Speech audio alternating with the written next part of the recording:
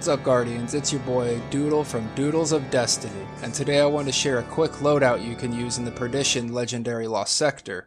But before I get into it, don't forget to hit that subscribe button to receive Destiny 2 news, tricks and tips, and all sorts of Destiny 2 content. Now in Season 15 being Season of the Lost, I would highly recommend taking advantage of the fusion rifle meta, Pairing any fusion rifle with the armor mod Particle Deconstruction will give you a huge advantage in any high content activity.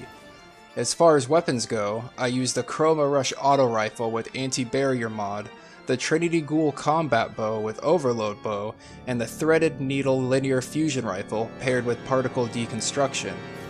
Now in this Lost Sector you will be facing enemies with Arc Shields and Void Shields, specifically Vex Harpies, which will be in almost every room.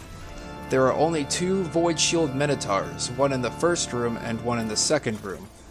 Because arc shields are more predominant here, I would recommend a long-range arc weapon like Trinity Ghoul. Trinity Ghoul is more or less used for stunning overload champions which will spawn it only in the first room. It can also be a great ad clearing tool if you're trying to keep your distance, which is a plus in high content activities. Because there really isn't a huge need for void damage apart from these two enemies, I would recommend something like Threaded Needle or any powerful void weapon to pop off on said targets. Threaded Needle is also pretty good at champion DPS, with a 3 to 4 critical shot to bring down most champions. Chroma Rush is used basically for one thing and one thing only, popping off barrier champion shields. There is only two barrier champions in the Lost Sector, so any auto rifle in my opinion could work just as well for this.